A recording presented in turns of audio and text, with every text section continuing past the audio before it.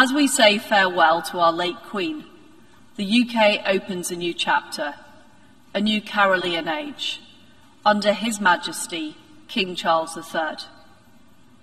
We want this era to be one of hope and progress, one in which we defend the values of individual liberty, self determination, and equality before the law.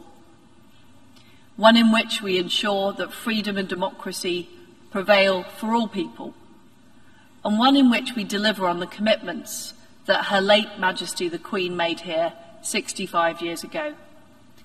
This is about what we do in the United Kingdom and what we do as member states of the United Nations. Our commitment to hope and progress must begin at home, in the lives of each of, of every citizen that we serve. Our strength as a nation comes from the strong foundations of freedom and democracy. There is a real struggle going on between different forms of society, between democracies and autocracies. And unless democratic societies deliver on the economy and the security that our citizens expect, we will fall behind. We need to keep improving and renewing what we're doing for this new era, demonstrating that democracy delivers. As Prime Minister of the United Kingdom, I'm determined that we will deliver the progress that people expect. I will lead a new Britain for a new era. We are cutting off the toxic power and pipelines from authoritarian regimes and strengthening our energy resilience. We will ensure that we can't be coerced or harmed by the reckless actions of rogue actors abroad. And we will transition to a future based on renewable and nuclear energy while ensuring the gas used during that transition is from reliable sources, including our own North Sea production. We won't be strategically dependent on those who seek to weaponise the global economy. Instead, we're reforming our economy to get Britain moving, and we want to work with our allies so we can all move forward together. The free world needs this economic strength and resilience to push back against authoritarian aggression and win this new era of strategic competition.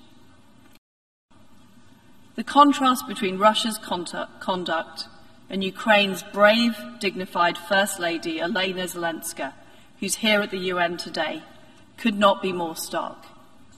The Ukrainians aren't just defending their own country, they're defending our values and the security of the whole world. That's why we must act. That's why the UK will, set, will spend 3% of GDP on defence by 2030, maintaining our position as the leading security actor in Europe. And that's why, at this crucial moment in the conflict, I pledge that we will sustain or increase our military support to Ukraine for as long as it takes. This is a decisive moment in our history, in the history of this organisation and in the history of freedom. The story of 2022 could have been that of an authoritarian state rolling its tanks over the border of a peaceful neighbour and subjugating its people.